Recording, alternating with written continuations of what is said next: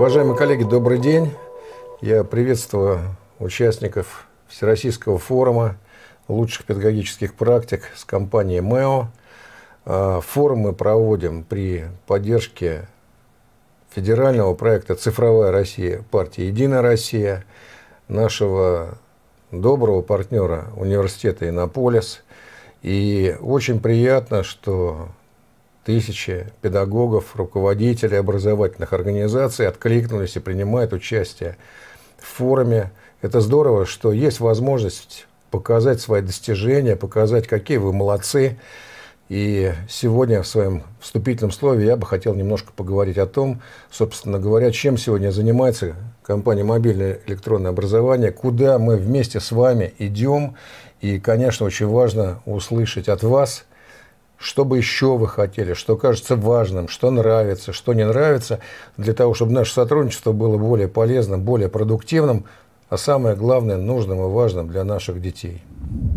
Дорогие друзья, но на сегодняшний день, конечно, система образования является очень важной для развития нашей страны в условиях технологического прорыва, в условиях такого тектонического сдвига в истории человечества, когда от общества, ну, скажем так, аналогового мы перемещаемся в общество сетевое или цифровое, Э, когда буквально за десятилетия от дидактики Яна Амоса Каменского мы перемещаемся к дидактике современной сетевой. И понятно, что э, внимание, которое государство уделяет качеству образования, результатам образования очень высокое. И сегодня индикаторы деятельности системы образования являются важными в оценке эффективности деятельности высших должностных лиц субъектов федерации. Это уровень образования, это условия для воспитания гармонично развитой и социально ответственной личности. Это эффективность системы выявления, поддержки и сопровождения талантов. Ну и, конечно, цифровая зрелость органов власти и органов отдельной образовательной организации. Именно над этим мы с вами работаем. Именно э, выход на высокие показатели по этим индикаторам мы стремимся помочь вам достичь. Но на самом деле на сегодняшний день для того, чтобы решить поставленные задачи, необходимо очень четкое и внятное понимание того, что сегодня мы с вами являемся свидетелями совершенно другой жизни человека. Сегодня в том числе и другое детство. Это современное сетевое детство. И здесь есть и кроются для нас огромные возможности, но не менее серьезные риски, которые мы с вами, педагоги, должны учитывать в своей повседневной деятельности. Мы часто говорим опасность цифры и часто говорим о том, что давайте вот детям не пущать, ограничивать их э, работу в сетях, а ограничивать доступ э, для них к интернету или к устройствам. Это очень опасная позиция. Все должно быть очень выверено, взвешено, научно обосновано. Безусловно, ребенок, сидящий по несколько часов в сети, это ненормально. Но еще более ненормально ограждать его от этого. Потому что он в любом случае войдет в этот сетевой мир. Он найдет способ войти в интернет. Но тогда его сетевая социализация будет проходить вне нашего педагогического сопровождения, а это колоссальные социальные риски. Безусловно, на сегодняшний день мы должны с вами понимать, что э, угроза социальной стратификации детства, она определяется недоступом к интернету, он практически повсеместен. Не наличием устройства, тоже практически все дети имеют современное устройство. Но это прежде всего доступность педагогически сопровождаемого образовательного пространства. Это наша с вами работа с семьями, а, некоторые из которых очень внимательно относятся к вхождению своего ребенка в сетевой мир, а другие на это не обращают внимания в силу разных причин. Кому-то э, это безразлично, а кто-то просто некомпетентен. И это новая роль системы образования в взаимоотношениях с семьей. Конечно, очень опасно то, о чем мы очень много говорим в последнее время, отрыв ребенка от культурных традиций, общества и истории. В дошкольном детстве это вымывание игры из жизни детей, а мы с вами прекрасно понимаем, что игра – это один из важнейших инструментов социализации ребенка дошкольного возраста. Можно говорить о росте агрессии в детской среде, можно говорить о росте удельного веса детей с проблемой в здоровье. Это очень серьезные проблемы. Но прежде всего хотелось бы э, сказать о том, что главная проблема – это низкий уровень сетевой культуры. Это низкий уровень информационной безопасности детей, а, формирование интернет и э, игровой зависимости – и это прежде всего, конечно, э, то, что должно быть сформировано в каждом из нас, в педагоге, в родителе, умение вводить детей в новый сетевой мир, где цифра является частью этого мира. Каковы особенности современного пространства развития ребенка? Ребенок растет в условиях реального и цифрового мира, которые создают единое пространство формирования и развития личности.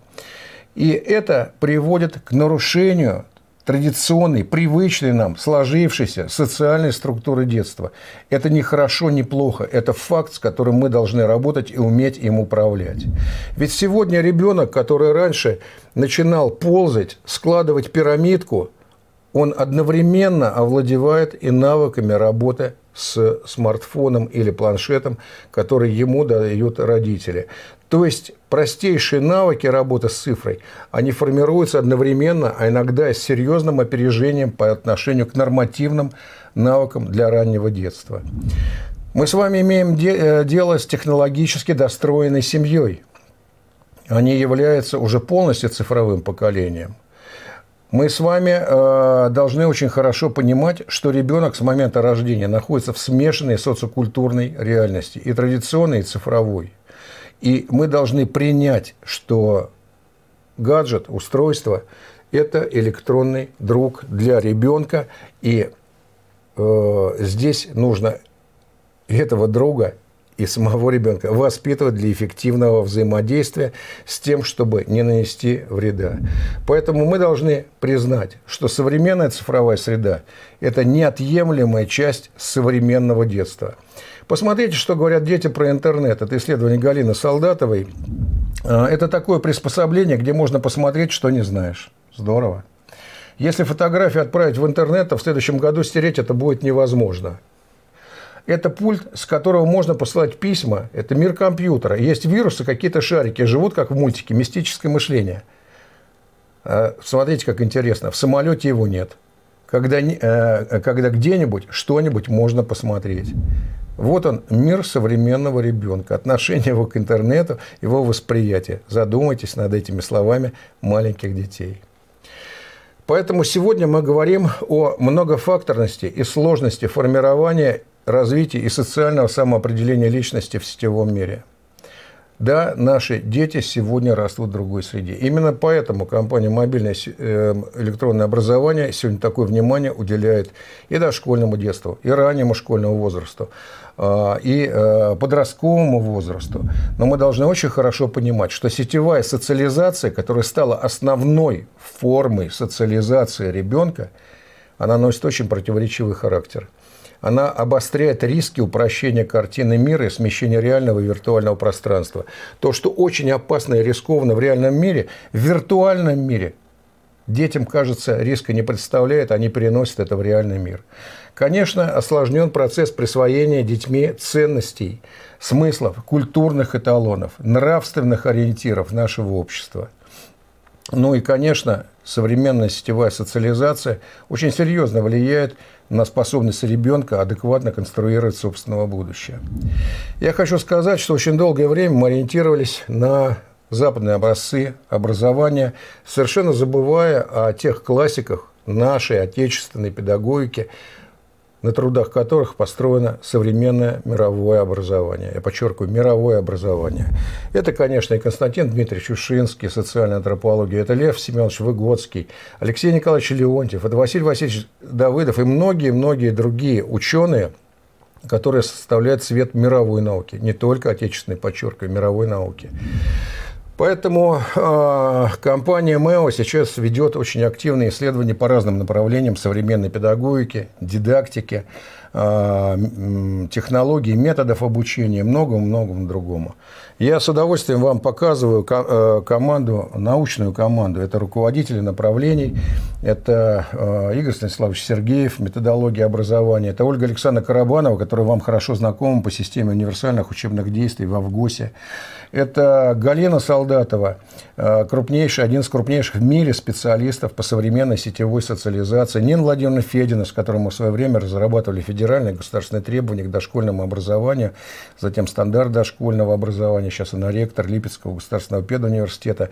Это две удивительных женщины, э, Регина Ильинична Мачинская и Людмила Владимировна Соколова. Это физиологи, которые э, ведут уникальные исследования физиологии современного ребенка. Об этом, может быть, я сегодня еще немножко вам скажу. Николай Яковлевич Карпушин, который занимается проблемами сетевой модели преемственности уровня образования.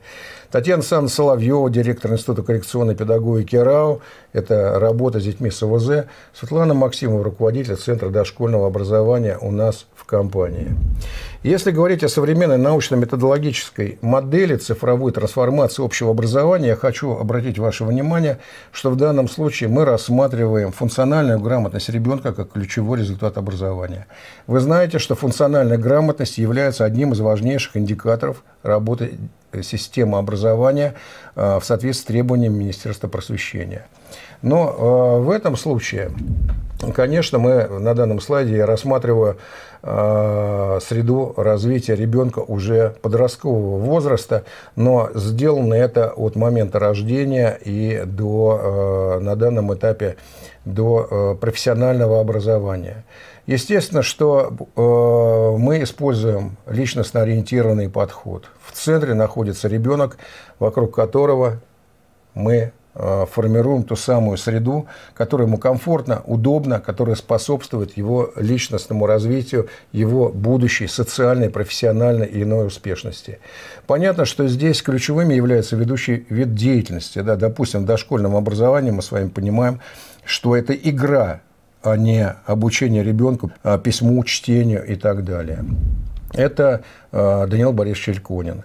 Субъектность – это развитие активной личностной самостоятельности. Это и Константин Мельчушинский, Василий Васильевич Давыдов. Контекстный подход формирования развития личности происходит в конкретной социокультурной ситуации, э, в конкретной среде. Это прежде всего Лев Семенович Выгодский, Э, и многие другие ученые. Это ценностно-смысловые э, ориентации человека, ценности и смыслы, которые объясняют, которые формируют понимание ребенком, что хорошо, что плохо, что много, что нельзя.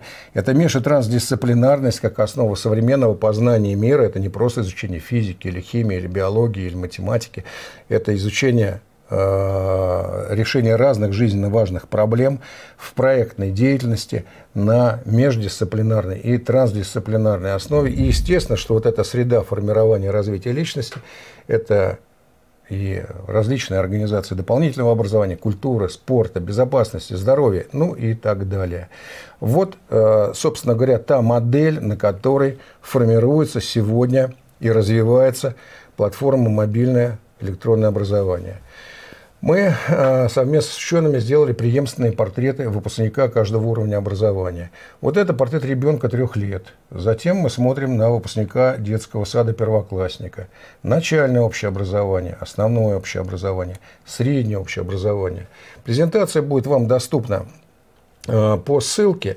Э, здесь я не хочу подробно останавливаться, но эти короткие слайды – это результат более полутора лет работы очень серьезного коллектива ученых, которые создали вот такие целевые ориентиры для каждого уровня образования, на основе которых можно формировать основные и нужно формировать основные образовательные программы уровня образования. Те из вас, кто с нами работал по этому направлению, формируя и развивая школьные команды, это очень хорошо понимают. Мы с вами сегодня имеем дело с другой семьей. Это современная конвергентная семья – куда цифровые технологии вошли как неотъемлемая часть их жизни. Это и вызов, и новые возможности. И родители современных и дошкольников, и школьников – это цифровое поколение. И здесь, конечно, очень важно, чтобы мы с вами обращали наше педагогическое воздействие, внимание, уделяли и двух, и трем поколениям семьям, где есть бабушки, дедушки, папа, мама, дядя, тетя, которые по-разному относятся к вхождению ребенка в сетевой мир. Именно вот эти вещи э, мы сейчас э, доносим до широкой педагогической родительской общественности в тех роликах, которые снимаем с ведущими учеными страны, которые объясняют, как продуктивно, безопасно ввести ребенка в этот новый, удивительно интересный но не менее опасный мир. Поэтому э, семье нужна психолого-педагогическая поддержка, повышение компетенции в развитии, э, вопросах развития образования, охраны, укрепления здоровья детей в этой современной семье. Кстати говоря, вот говоря о семьях, мы еще забываем, что кроме пап, мам, бабушек, дедушек, а еще есть старший брат или сестра, которые тоже могут ввести ребенка в этот интереснейший сетевой мир, но не совсем сообразно возрасту своего братишки или сестренки. Поэтому сегодня, конечно, когда мы работаем с семьями, мы должны ориентировать их на экспериментирование с функциями различных цифровых устройств совместно с детишками. Развивать начальные навыки адекватного использования цифровых технологий для общения, обмена информацией – отработать общие навыки использования цифровых устройств для согласованными с родителями целей. Ну, например, мы собираемся в отпуск, создаем чат и обсуждаем, как мы готовимся к этому, формируя у ребенка навыки эффективной сетевой коммуникации.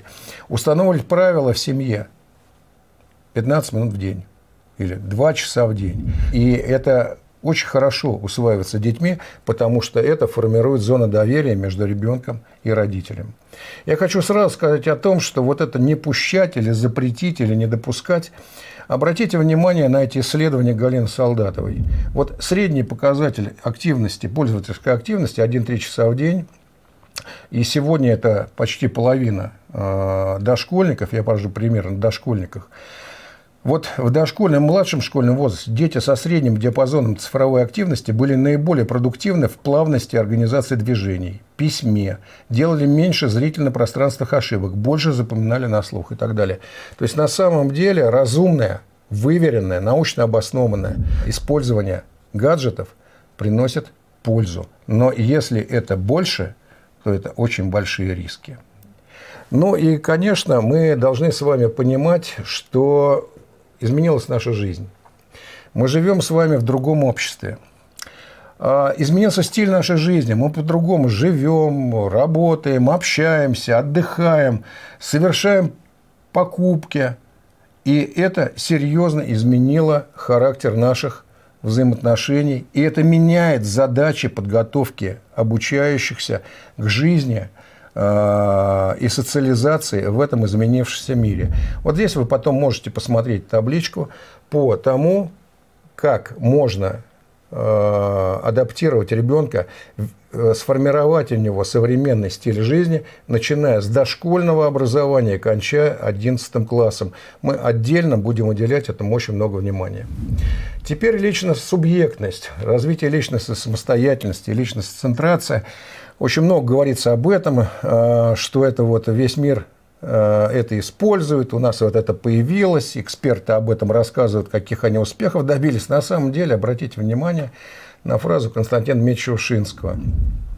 Конечно, образование ума, обогащение его познаниями много принесет пользы, но, увы, я никак не полагаю, чтобы ботанические зоологические познания или даже ближайшее знакомство с глубокомысленными творениями Фохта и Малишота могли сделать Гоголевского городничего честным чиновником и совершенно убежден, что будь Павел Иванович Чичиков посвящен во все тайны органической химии или политической экономии, он останется все тем же вредным членом общества, даже сделается еще вреднее, еще неуловимее.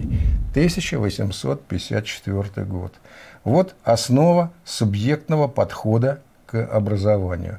Поэтому мы обращаем особое внимание на нашей платформе к вопросам субъектности. Это избыточность контента, которая обеспечивает вариативность образовательного процесса, дает возможность выбора а, именно того, что ребенку в данный момент подходит, что ему интересно, что соответствует его особенностям, ну и так далее.